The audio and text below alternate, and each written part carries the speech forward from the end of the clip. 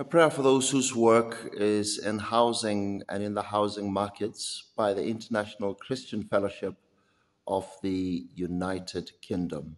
Let us pray. Living God, who left your home in heaven, knew what it meant to have no home and to grace the houses of rich and poor, the righteous and outcast with your presence.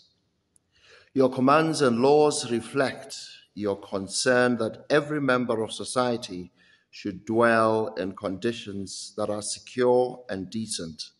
Forgive us if we imagined that the provision of housing and the nature of human dwellings lie beyond your concern.